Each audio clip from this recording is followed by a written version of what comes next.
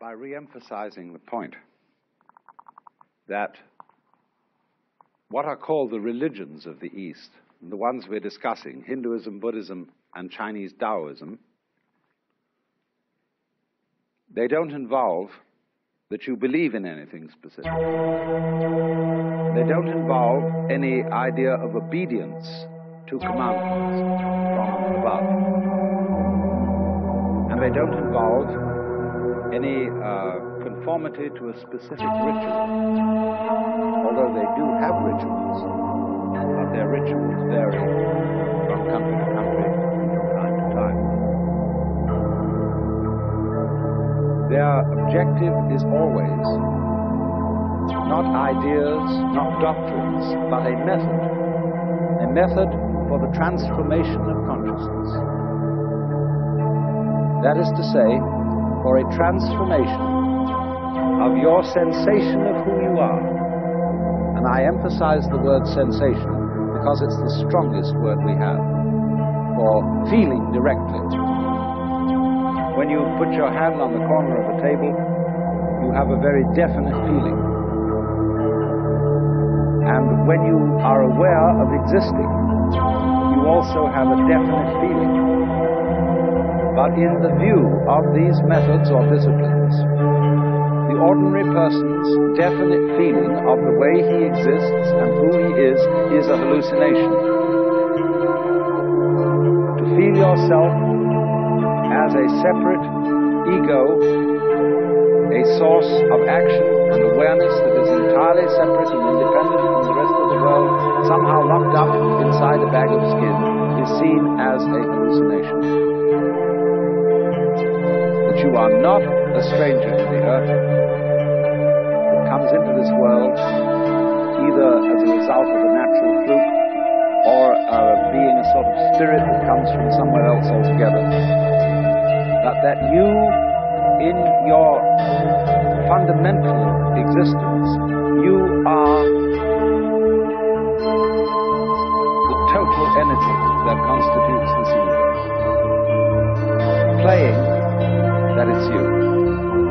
Playing that it's this particular organ, And even playing that it's this particular person.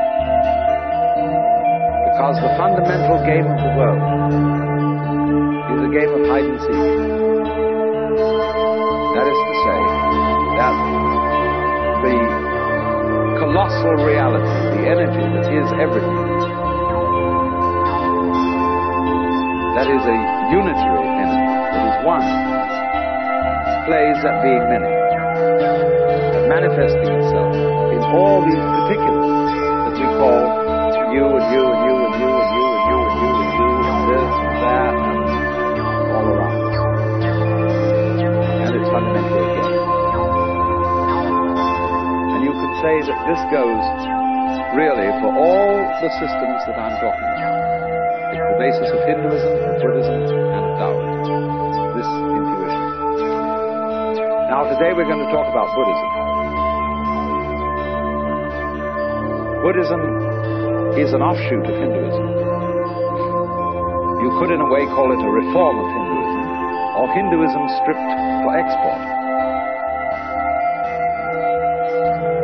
It originates in northern India, close to the area that is now Nepal, shortly after 600 BC. Was a young prince by the name of Gautama Siddhartha who became the man we call the Buddha. Now, the word Buddha is not a proper name, it's a title. And it's based on the Sanskrit root Buddh, B U D H, which means to be awake. And so you could say the Buddha is the man who woke up